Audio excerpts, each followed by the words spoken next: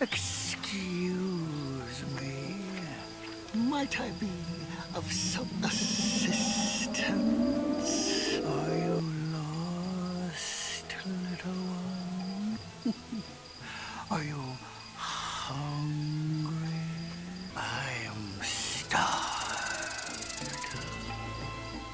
Oh.